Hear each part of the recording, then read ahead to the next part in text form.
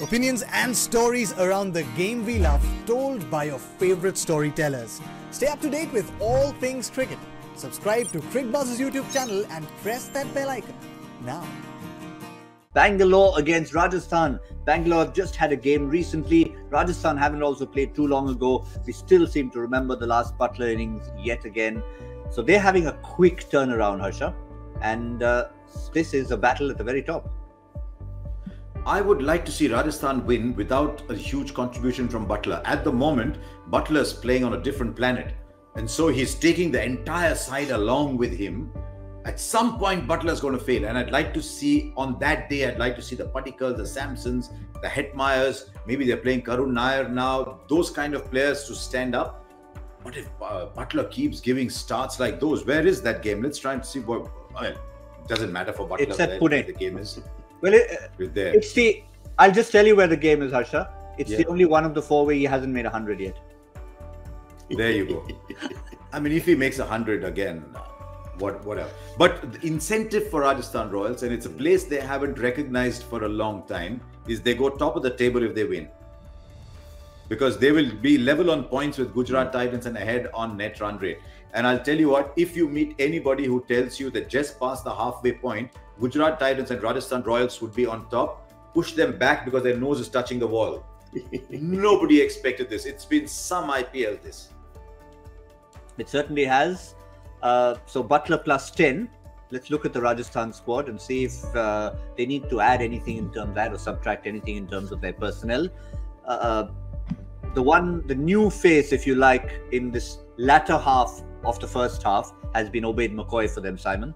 And he's certainly added a little dimension to it, especially because he hasn't been seen enough in these parts. Yeah, absolutely. Look, he's got he's got some good weapons. He's got some good slow balls. He's uh, he's a player that uh, the West Indies have have um, you know played whenever they could. He's, he's had trouble with his shin splints. I I was actually asking about it. He said it was well, we heard it was shin splints. I was talking to him after the first game he played. He was nervous as anything um, post that game as well. And he said he was nervous bowling the last over, but it was actually cracked. His shin bone was cracked, and they thought it was shin splints the whole way along. Um, so he's had to wait for that to heal rather than just a normal case of shin splints. It was um, it was a lot more severe than that. if, yeah. if a bone is cracked, does it ever become fully strong again? I mean, he's a young man, so it'll heal fully. I, I think he's. I, I mean, he seems like he's okay now, but he, you know, everyone kept telling him, well, he kept being diagnosed one way, and eventually they, they figured out it was actually cracked. Um, so he just had to take time off it and, and, and wait for it to heal. Um, and it's it's all good now, and uh, he's back in the mixer. So um, yeah, he's been a good asset for, for Rajasthan. Um, look, they're, they're still winning. They're, they're picking the same team. They're, they're, they're playing, I think, with with ten men and, and a half a man. But um, they, they just keep they keep picking the same side, and um, Yeah. you know uh, they, they keep winning. Yeah, so you, it's hard to complain, isn't it? What they've done is they've gone with uh, they've gone with five full bowlers. Hmm. And they're saying, right, five bowlers, you bowl your 20. If it comes to that, we'll get an over or two here and there, but we'll go five, five Yeah. bowlers. And if that is the plan, and if Yashasvi Jaiswal is indeed fit, and they send him back and say, okay, you go and just just be the battering ram, just go and hit your way, Hmm. hit your way through and give us the starts. That could just make the batting a little stronger. But then Devdutt Padikkal is just starting to get back into form, top of the order. So maybe not Yashasvi. But otherwise, I mean, they're, they're a good side. Um, Karun Nair, yeah, I, I hope he does well. Karun Nair hasn't had a great record behind him. So they are what? They're Buttler, Samson, Padikkal, Hetmyer, the, the, the four batsmen. Yeah, I mean, if I'm if I'm Padikkal or um, or Yashasvi, Yashasvi Jaiswal, uh, I'm bowling in the nets. I'm, I'm, I'm finding a way to, to, to you know to figure out some off spin. Just do something. I mean, I think surely he I, does. can offer. Surely I can offer as much as as Rian Parag is offering. um, with Jaiswal the does ball. bowl. Like Did I tell you. Yashasvi bowl? He does. Yeah. He does. Mm. Yeah. So he comes straight back into the side if he's fit, uh, and that just strengthens their batting all the way. Then they actually play with six batters and five bowlers, because Yeah. at the moment they're just not quite getting that.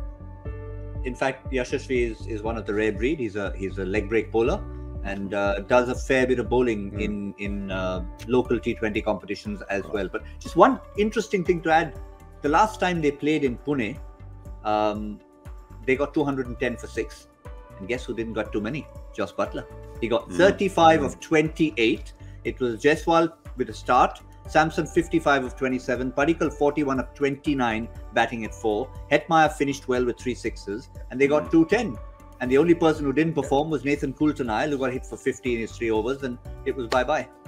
That was it.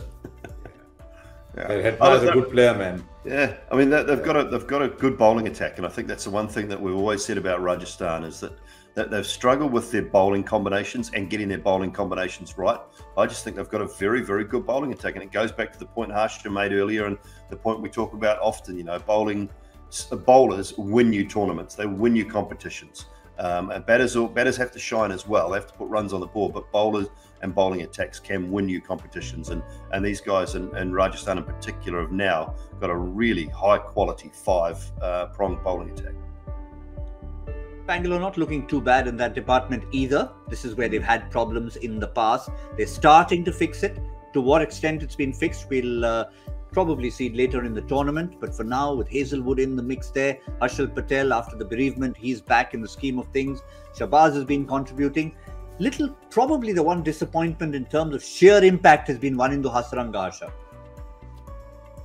Uh, he's just tailed off. A couple of people have just tailed off. Hasaranga has just tailed off, especially his batting. I think he should contribute more with the bat, but he only gets two or three balls. Yeah, his bowling has just tailed off a little bit, but I think he'll come back. They will they will stay with him.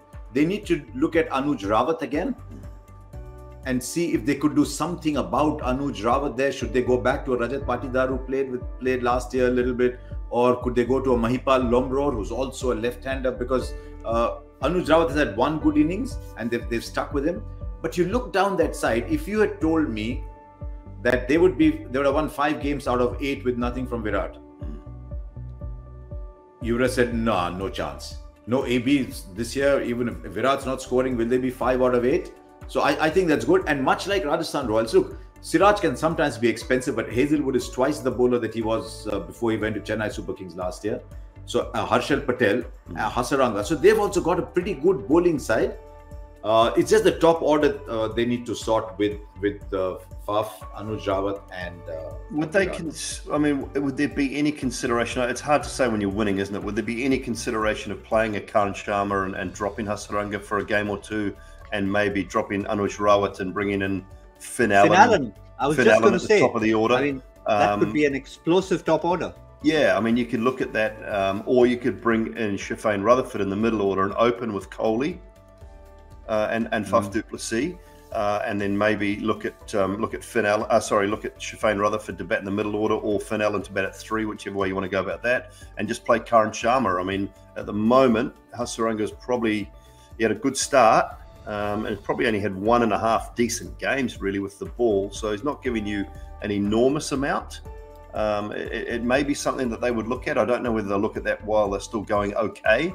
But in these sorts of tournaments, if you if you let it go for too long, uh, you might be out of the tournament before you decide to make a change. It, it, it may be worth an opportunity now. The other thing they could do is they could go back to Akash Deep, who was pretty good, uh, and play just four quicks, play four quicks, and get Maxwell and uh, the way SRH do, uh, get Maxwell and Shahbaz. Shahbaz to give them four overs. Maxwell and Shahbaz four four overs. Play four quicks like Sunrisers are doing. Sunrise have won five on the trot playing four quicks Yeah. and that allows you to then play another overseas uh, an- another overseas batsman in place Yeah. of Anuj Rawat.